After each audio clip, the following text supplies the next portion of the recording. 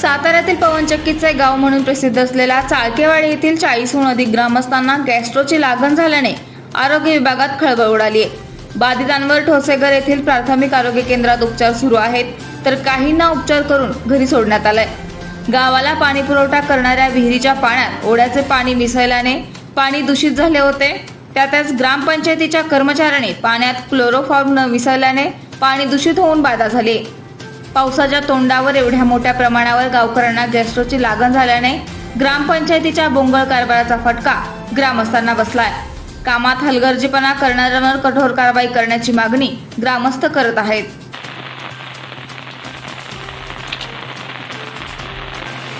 नमस्ते मी डॉक्टर वैशाली माने ठोसेघर प्राथमिक आरोग्य केंद्र वैद्यकीय अधिकारी डॉक्टर माने. पावसाळ्याचे दिवस चालू आहेत. पावसाळ्याच्या दिवसामध्ये जसे ताप सर्दी खोकला हे आजार होतात तसेच जुलाब होणं हेही आजार होऊ शकतात. या हिशोबाने काय काळजी घ्यावी? तर नियमितपणे किंवा ॲटलिस्ट पावळा पावसाळा संपेपर्यंत पाणी उकळलेलं उकळून गार केलेलं पाणी प्यावं. दुसरी गोष्ट खाणं अतिशय श्रावण महिन्यामध्ये म्हणून तर उपवासाचं महत्त्व सांगितलेलं आहे. खाण्यापिण्यातून काही त्रास होऊ नये. या हिशोबाने घरचं खाणं आणि तेही चार घास कमी हलकं खाणं असावं. पोटाच्या जरा जरी तक्रारी जाणवू लागल्या उदाहरणार्थ पोट गॅस धरणं किंवा पोट खळखळ जाणं किंवा अधनमधनं कॉन्स्टिपेशन होणं जुलाब होणं अशा कणभरही तक्रारी जाणवू लागल्या तर लगेच जवळच्या दवाखान्यामध्ये सरकारी असो किंवा खाजगी असो दाखवून यावं. आपले आपण किंवा मेडिकलमधून जाऊन डायरेक्ट औषध घेणं असं कधीही करू नये कारण डॉक्टर पूर्ण पेशंटला तपासून आणि पेशंटला कशामुळे झालं आहे म्हणजे अजीर्णामुळे झालं आहे का काही दूषित इन्फेक्शन काय अशामुळे झालेलं आहे का कुठल्या दुसऱ्या आजाराचा उपद्रव म्हणून हा जुलाब उलट्या होत आहेत याचं योग्य निदान करून औषध देत असतात.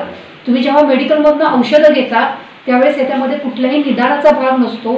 फक्त जुलाब थांबवणं हे ध्येय न ठेवता मूळ काही इन्फेक्शन असेल किंवा मूळचा काय आजार असेल तर तो दूर करून थांबवणं हे गरजेचं आहे. आणि फक्त जुलाब थांबले याच्यावर थांबू नका.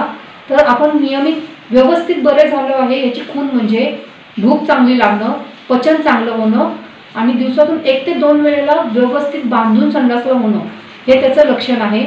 तर या पद्धतीने जावं. महत्त्वाची काळजी पुन्हा एकदा सांगते. पाणी उकळून गार केलेलं प्या.